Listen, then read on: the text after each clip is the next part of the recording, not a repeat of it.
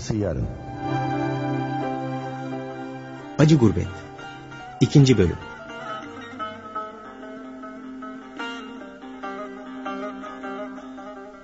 Yapım Mehmet Kösoğlu Yazan Seçkin Başkan. Uyarlayan Tayfun Türkili. Seslendirme Yönetmeni İskender Bağcılar. Kayıt Montaj Didem Türkmen. Program Yönetmeni Erol Güldiken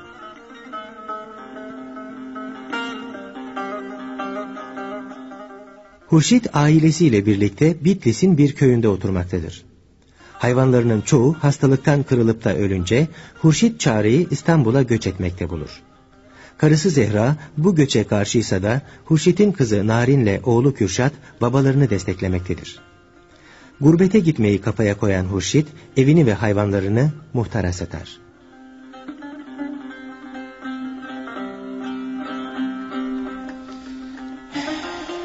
141, 142, 143, e, 144, 145 milyon. Tamam mı Hurşit? Oo etme muhtar. He? 150 milyon diye anlaşmıştık seninle. Ya o beşini de indirim yap artık Hurşit. Bak paraları trink saydım sana. Ne senet ne sebet yaptım ya. Yok yok yok yapma muhtar. İnsaf eyle. Bak hem gurbete gidiyoruz. Bizim paraya çok ihtiyacımız olur muhtar oralarda. Tamam tamam. Al al şu beş milyonunu. Heh. Tamam mı? Heh. Anlaştığımız gibi. Heh, 150 milyon oldu şimdi bak. Tamam tamam hayrını gör muhtar. Ee, sen de paranın hayrını gör. Gurbet utandırmasın sizi. İnşallah inşallah. Ah, bu arada bize bir iki gün müsaade edersin değil mi? Buradan kasabaya gidecek bir araba bulmamız lazım da. Keyfine bak Hurşit. Müsaade senin. Hazırlığınızı yaptınız mı bari? He toparlanıyorlar işte. Bak Hurşit ben seni severim. İkimiz de bu koyda büyüdük. Gel istersen şu gurbete çıkma işini bir daha düşün he. Eh, Neyini düşüneyim ben muhtar. Sen de biliyorsun ki bu köyde anca hayvancılık yaparak karnımızı doyurabiliyor. E bak bu doğru. Gördün işte. On keçim vardı. Altısı hastalıktan telef oldu. Geriye dört keçim kaldı. Bununla karnımızı doyurmak hayal hayal. Sonra burada hayat kalmadı artık. Köylü yavaş yavaş çekip gidiyor. Kimi Bitlis'e, kimi Van'a, kimi Ağrı'ya, kimi İstanbul'a. İstanbul en güzeli. Orası herkesi doyuruyor. Bizim deveci Kazım'ı ele al ha. İstanbul'da krallar gibiymiş. E biz niye olmayalım ki? He, iyi dersin de Hurşit, iyi dersin de. Gurbetin yükü ağırdır bak bunu unutma. İki yüzü vardır. Sen buradan aydınlık yüzünü koruyorsun. Peki ya öteki yüzü? Orası karanlıktır ya. Ee, her aydınlığın bir karanlığı vardır be muhtar. Çilesiz rahata kavuşulmaz ki. Ee ne diyeyim sen bilirsin Hurşit. Ben bir kere daha uyarayım dedim seni.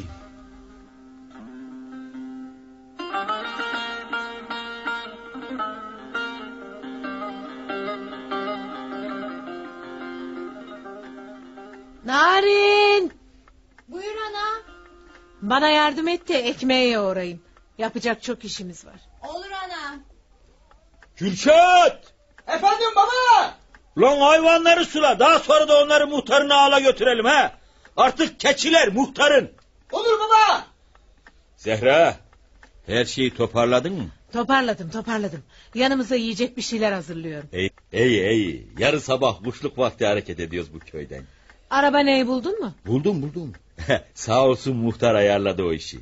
Yarın sabah köye gazete getirecek olan İbrahim'in kamyonuyla gideceğiz kasabaya. Oradan da önce Bitlis'e sonra da İstanbul'a gideceğiz. Allah sonumuzu hayretsin.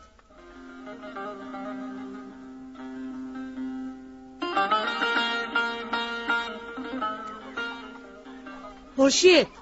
Nerede kaldı bu kamyon? Soğuktan donduk. Bir saate köy meydanında bekliyoruz baba. Merak etmeyin canım şimdi gelir.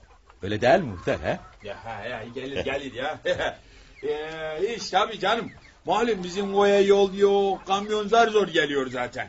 Ama şimdi gelir merak etmeyin. Ah ah işte bak bak geliyor gördün mü? He ya dırdır etmeyi bırakın işte. Kamyon geliyor gördün mü? Aman gelsin de bir an evvel binelim. Selamun aleyküm muhtar. Ve aleyküm selam İbrahim hoş geldin.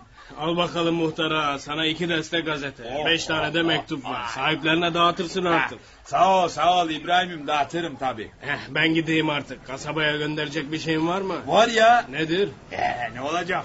Bizim Hurşit'le ailesi buradan koşuyor artık. Sana zahmet onları bir kasabaya kadar bırakıversen diyorum he. Sahi mi? He. Göçüyor musunuz Hurşit ağa? He öyle. Burası artık bizim karnımızı doyurmuyor İbrahim. Nereye peki? Allah izin verirse İstanbul'a. Tamam kasabaya kadar götürürüm sizi. Atlayın arabanın arkasına. Sağ ol İbrahim. Zehra, Narin, Gülşat. Atlayın bakayım arabanın arkasına. Oyalanmayın hadi. Hele şu yükleri bir koyalım da baba ondan sonra ya. Ya Hurşit ağa sen İstanbul'a bu yüklerle mi gideceksin? He niye sordun ki? Hepsi hepsi üç denk. Bir sandık iki sepet. Zaten denklerden birinde yatak yorgan var. Öbürlerinde tel dolabı kapkacak gibi şeyler. Bana göre hoş ama şehirler arası otobüsleri bu yükleri bagajına zor alır. Nasıl götüreceksiniz? Hele bir Bitlis'e varalım. Oradan sonrasına bakacağız ya. Siz bilirsiniz. Tamam mı yola çıkabilir miyiz? Tamam tamam hadi bakalım. Zehra, Narin, Kürşat tamam mı? Bindiniz mi lan kamyonun Tamam, arkasına? tamam. Tamam tamam hadi. Hadi bakalım.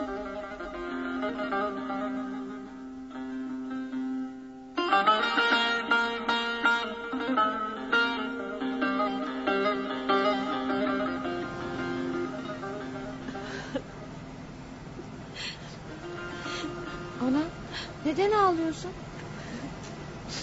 Bir şey mi oldu ana? Siz anlamazsınız. Çocuksunuz daha. İnsanın doğup büyüdüğü yeri terk etmesi nedir bilmezsiniz. Benim anam, babam, onların anası, babası, yedi göbek sülalem bu topraklarda, bu köyün mezarlığında yatıyor. İyisiyle, doğrusuyla, yarı ağaç, yarı top yaşayıp gidiyorduk işte. İçimden bir ses gurbete değil, felakete gittiğimizi söylüyor bana. Yapma anam. Her şeyi kötüye yorma. Elbet bu gidişin de bir hayrı vardır. Hem neden felakete gidelim ki? Daha iyiye, daha güzele. Karnımızı daha çok doyuracağımız bir yere gidiyoruz. Şu sözlerim aklınızdan çıkmasın yavrularım. Daha iyi, daha iyi diyorsunuz ya. Her şeyin daha iyisinin mutlak ödenmesi gereken bir bedeli vardır. Bakalım biz bu bedeli nasıl ödeyeceğiz?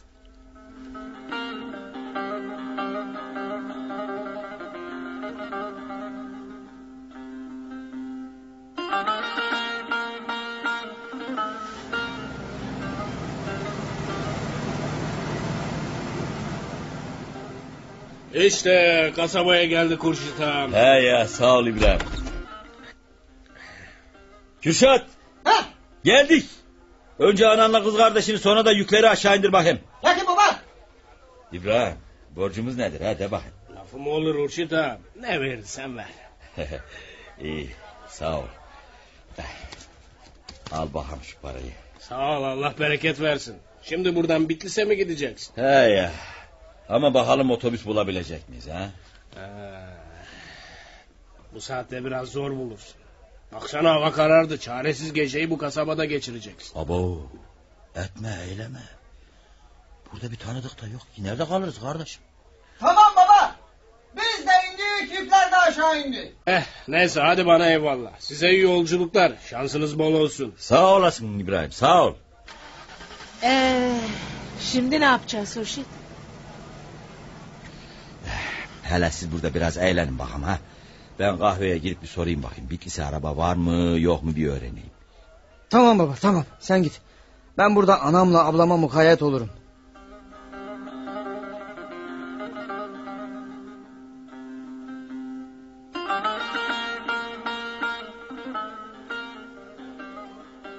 Selamun aleyküm. Aleyküm selam buyur dayı. Ee, şey ben Adem dayıyı arıyorum da. Benim buyur. Ah, öyle mi çok iyi.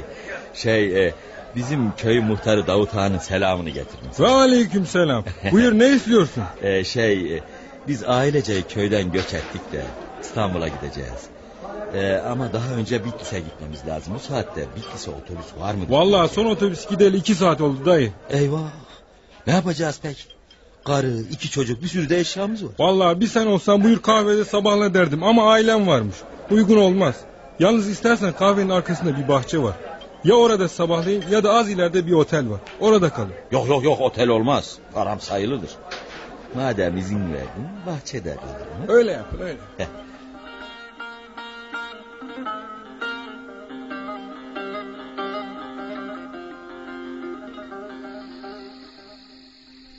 Ben sana ne diyeyim adam ha ne diyeyim? İstanbul dedin, gurbet dedin, şu geceyi geçirdiğimiz yere bak. Bahçede kurtlarla kuşlarla birlikte yatıyoruz. Sanki sıcak evimizin suyu çıkmıştı değil mi? Derdurlanıp durma lan karı. Çap çap şimdi tokada. Ne yapayım yani? Ya otele gidecektik ya da burada bedava kalacaktık. Otele gitsek dünyanın parası biliyor musun sen ha? En az birkaç milyon veririz. Bak bak bak benim sokağa atacak param yok. Şunun şurasında beş altı saat sonra sabah olacak. İdare et işte. Karnımız acıktı ana. Getirdiklerimizi yiyelim mi? Olur. Bir gazete kağıdı bulun da yiyecekleri üstüne koyalım. Hah burada var. Heh, tamam. Evet hadi bakalım. Serdim onu yere. Yiyecekleri çıkartıp koyun bakalım. şöyle. He, Tamam. ben de kahveye gidip çay getireyim size.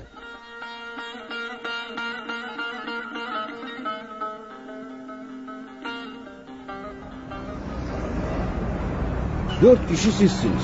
Bir dört kişilikte yükünüz var. İki buçuk milyon vereceksiniz. Etme kardeş. Bitlis'e kadar bu kadar para istenir mi hiç? Yok canım. Eşya dediğinde ne ki?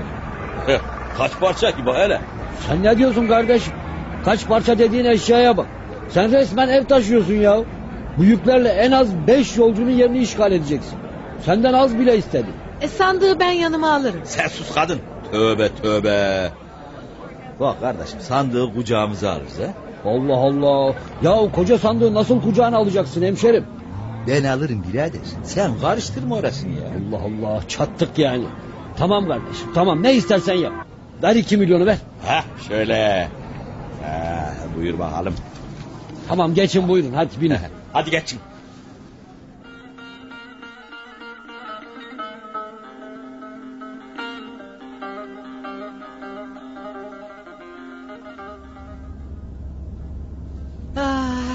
Görüyorsun değil mi hoş? Çektiğimiz şu eziyeti görüyorsun değil mi? Ne eziyeti be kadın? Kucağımızda koca sandık. Ayaklarımızın altında yatak denkleri. Neymiş? Gurbete çıkıyormuşuz. Ha böyle gurbetin içine. Hırpırlama kadın. Bak her sıkıntının bir ferahı vardır ha. Gurbete çıkmak da gurbette kalmak da zordur. Ne yapacağız? Bir süre katlanacağız elbet. Hadi bakalım asma suratını. Bitlis'e vardık mı gerisi kolay. Oradan tek otobüsle İstanbul'a gideceğiz. İnşallah bittiyse varır varmaz hemen araba buluruz. He ya dua et de bulalım. Yoksa orada geceyi sokakta mı geçireceğiz ha? Şehir orası. Polis, jandarma engeller. Otele gidersek elimizdeki para azalır.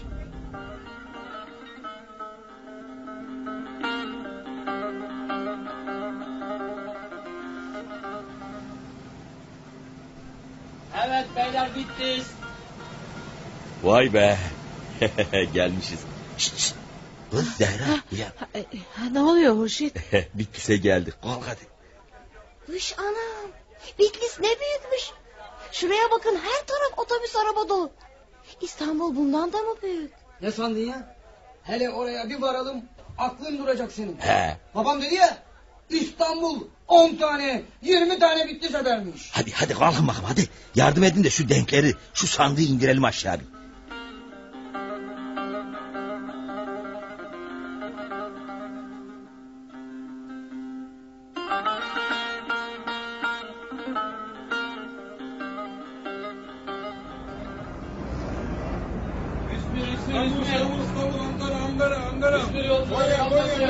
Eh, siz hele burada beni bekleyin. Kürşat sen burada kal tamam mı? Ben gidip otobüsçülerle bir konuşayım bakalım. Tamam baba.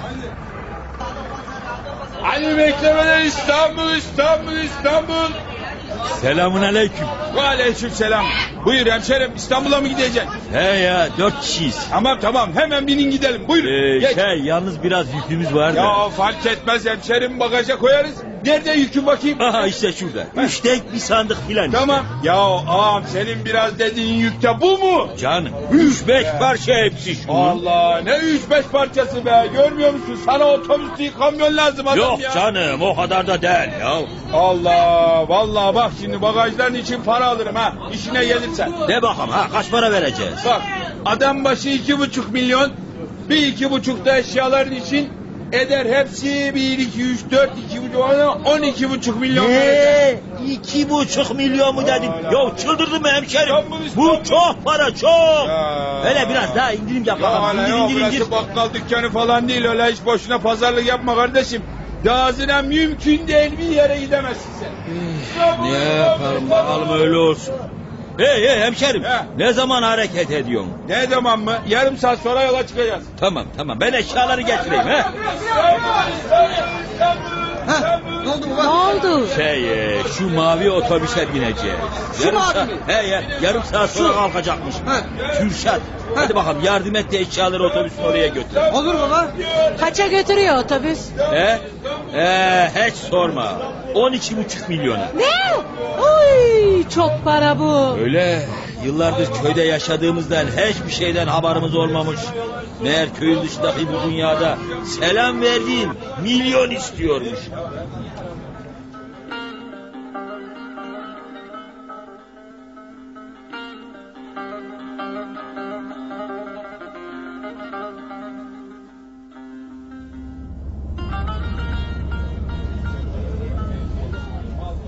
Heyecanlı mısın oğlum? He vallahi çok heyecanlıyım baba. İlk defa köyden çıkıp büyük bir şehre gidiyoruz. He, büyük şehir iyidir. He. Bakma sen ana. Köyde ne var ki? Ne yol, ne su, ne elektrik. Ama İstanbul.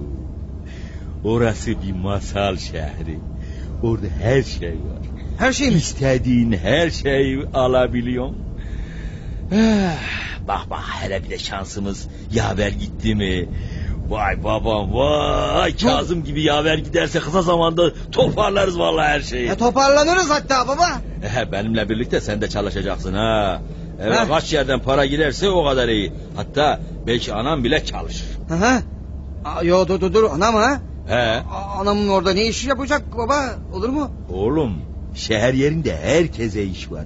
İş de var aş da var. Önce bize başımızı sokacak bir ev lazım bak şimdi. Peki baba. Gider gitmez ne yapacağız orada? He? ne mi yapacağız? Kazım'ın adresini aldım oğlum. Hemşerimiz, köylümüz olur kendisi. Ha. Onlara gideceğiz. Heh iyi baba.